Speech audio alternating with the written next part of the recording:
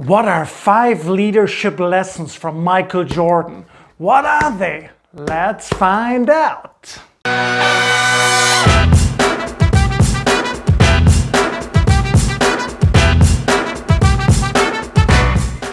So by the way, if you're new here, make sure to hit that subscribe button. Lots of great videos coming up. Don't miss out. Number one, be a role model first right? Michael Jordan says you gotta earn your leadership every day.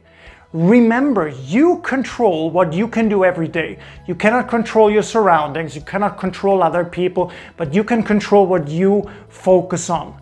Yeah, so he also says that some people want it to happen, some wish it to happen, others make it happen. For you as well, make it happen. Lesson number two, build a great team right? Teamwork is an absolute must to get ahead in your career, in your life, and all your leadership activities. And Michael knew this because early in his career, he was the individual superstar, right? The best scorer in the league from a very young age. He was so great, but he couldn't win any championships. He couldn't do it. It wasn't until he built a great team, he started to trust the team as well, that it all happened and he won these six championships that he won. So he said the following Talent wins games, but teamwork and intelligence wins championships. So for you as well, make sure you build a great team. Lesson number three, believe it's possible and focus on the next step.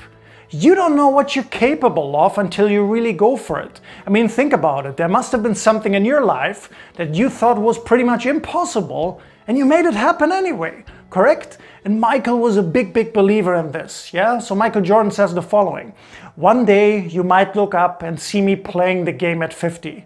Don't laugh, never say never, because limits like fears are often an illusion. Now, he didn't play at 50, yeah, but he bought the basketball, he bought the Hornets, right? And he's the owner of the Hornets, and he said he could still play with his players, but he doesn't want to demotivate them, actually.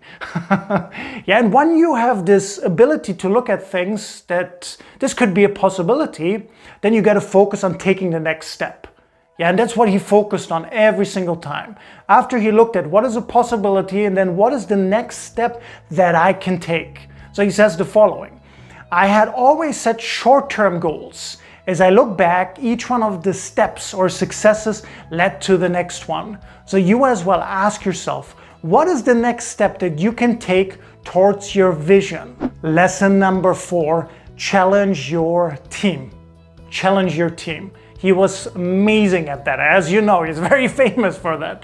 Right? It kind of comes with it comes with the mindset that how really is steel hardened? Yes, it's hardened in the fire, right? It comes with a mindset that tough times create strong people. Good times create weak people, right? We don't become stronger until we get challenged. So here's what he said. He said the following Winning has a price and leadership has a price. So I pulled people along when they didn't want to be pulled. I challenged people when they didn't want to be challenged. So for you as well, how can you challenge your team to move to the next level? And leadership lesson number five, accept failure. Let it drive you. Yeah, Michael says the following. He says, I can accept failure. Everyone fails at something, but I can't accept not trying.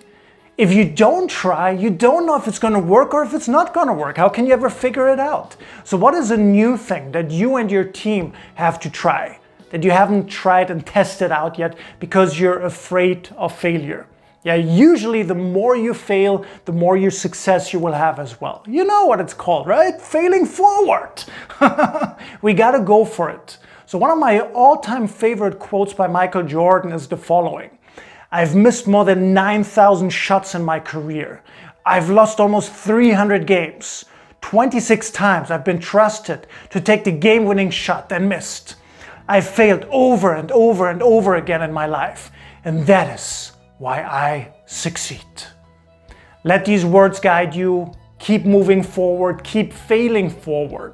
So comment down below one time, what is the biggest leadership lesson from Michael that you want to apply to your leadership right away? Which one is it? Share it down with me. I'd love to see it. Yeah, if you like this video, give it a thumbs up. If you haven't done it yet, hit that subscribe button. There's more great stuff coming. yeah, and most importantly, of course, as always, I really look forward to seeing you in the next video.